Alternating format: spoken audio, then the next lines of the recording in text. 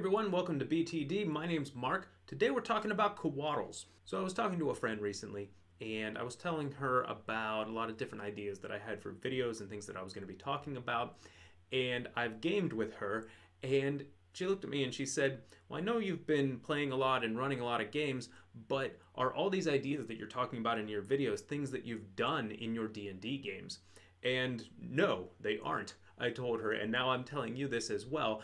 And I think that for pretty much any YouTube channel um, that's talking about D&D, that should be somewhat obvious. Obviously, if you've been playing a lot longer, you, you're going to have a lot more stories to pull from in your actual games but so much of what people talk about in terms of brainstorming and ideas and things to use at the table and to do at the table are things that just exist as brainstorms. They're just ideas that people have had, and a lot of times they're things that they might like to use but haven't gotten around to. So I bring it up today with this video because couatls are the first monster, the first creature that we're going to talk about that I've never used in a game and I love the concept of them and I am undoubtedly going to incorporate couatls into a future adventure at some point.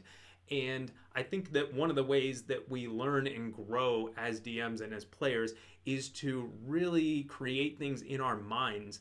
And probably 10% of the ideas that we come up with in our heads are going to see the table at any point. The other 90% are just going to be up there forever because we can always generate more ideas than we're going to have time to use in our games. So I wanted to be upfront about that. I have been running games and playing a ton the last few years here, but it's still not enough to have played with every single monster in the monster manual or to have run every different type of campaign.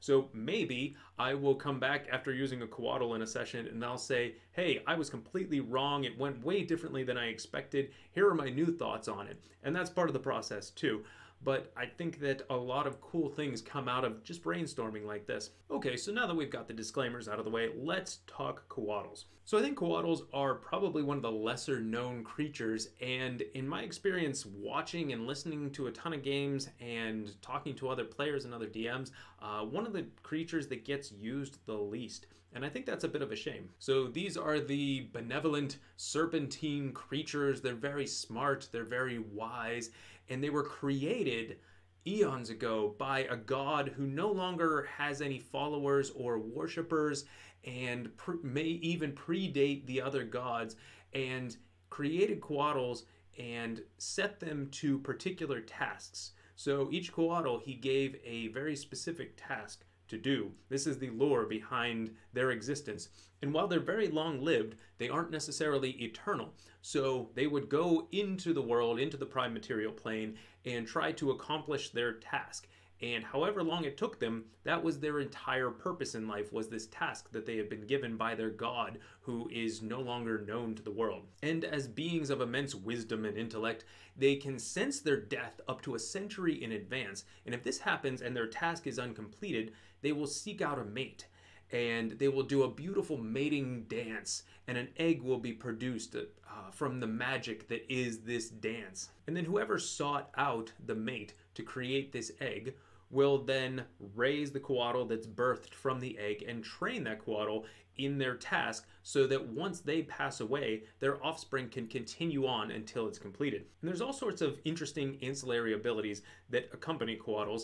So they have a lot of magic related to scrying and being able to detect good and evil. Uh, they're immune to scrying. You can't uh, get anything from their thoughts. You can't see where they are. So they're very protected in that sense. They do have some healing magic. They also have a lot of other detection based abilities and they can also shape change into a humanoid and back again. So these are creatures that don't necessarily want to be found. They might be in a particular location or they might be trying to accomplish a particular task and they don't much care how long it takes so long as they are able to complete it eventually.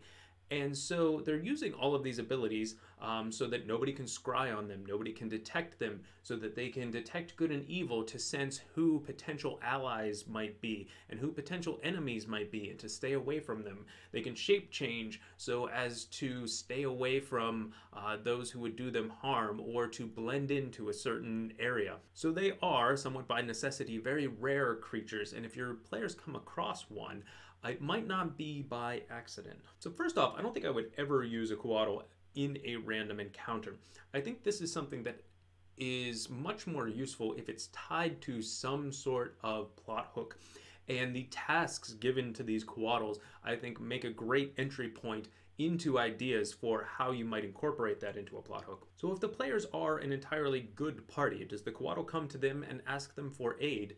Do they stumble upon the Couatl who realized that the players were coming and wanted to have a conversation with them? Does it need help finding a mate? Or does it need help completing its task? Maybe the task that the players have been given is antithetical to the task the Couatls have, have been given. So say you're asked to go into a tomb and retrieve this ancient artifact. Well, maybe it's an artifact of evil power, and the players don't necessarily know that, and the Couatl is tasked with guarding it. Now we're at an impasse. Even if the item isn't magical, even if it just serves some purpose there in that temple, and the Couatl needs it to stay there, now we have a good aligned Couatl and a potentially good aligned party at odds with one another. How do you resolve that? That's a great question. That's a great situation to put your players into. Maybe, knowing the subservient, obedient nature of Couatls, somebody wants a Couatl for themselves and has asked the players to interrupt the mating dance of a Couatl and steal the egg before it has a chance to hatch and before the um, parent Couatl has a chance to impart its task to its offspring. So now, if your benefactor has a Couatl egg, they can raise it and give it particular tasks, maybe one, maybe many, and it will obey unceasingly um, its commands. So if you insert a Couatl into your game, it's really worth thinking about what its motivations are and what its strategy is going to be to complete its task, um, whether it's an ongoing task or it's a very specific one that has an endpoint. Is that task related to a prophecy? Is it related to a specific point in time? Does it relate to the players at all and their story? And if they end up working with, or at least conversing with, this Couatl, uh, be prepared to play it in a way that's maybe a little bit different from other creatures because it knows all languages. It's telepathic. It can't be scryed upon. Um, it has a very specific purpose for its existence. So this makes it quite a bit different from other creatures that you might play and that the party might be interacting with. And also keep in mind that you can't lie as a Couatl, but Couatls can withhold information. So maybe the players don't know that the Couatl has true sight. Maybe they don't know that it has telepathy. Maybe they don't know that it can speak all languages. And so this could create some interesting tension between them if the players try to do anything without the Couatl knowing it. And lastly, I think you have to determine whether or not it's worth it to flesh out who this god is that created the Couatls and sent them on their tasks. Has this god faded into obscurity? Is it Uh, a different incarnation of an existing god? Is it one that is still active behind the scenes, even though it has no followers or worshippers? Maybe it is unseen, much like the Couatls themselves, from the other gods. So, if you want to get into that hierarchy of things, you could really create an overarching story behind the Couatl's existence, why it's there. I don't think this is necessarily something that you need to do, but depending on how much you want to make this an intrinsic part of your story, you know, if it's just a one off, like a side quest or something, I probably wouldn't go so far as to create that backstory and figure out exactly who and what this god is. But if this was very much linked to the main plot that the characters were on, I would probably flesh that out and they might come into contact with agents of this unseen god again at some point. And when it comes to combat, if they end up fighting the Couatl, it actually gets into some very weird territory involving uh, foreknowledge of one's death because it's stated that a Couatl doesn't know the exact nature of its death, but it can sense its impending demise up to a century beforehand. So it will know that it's coming.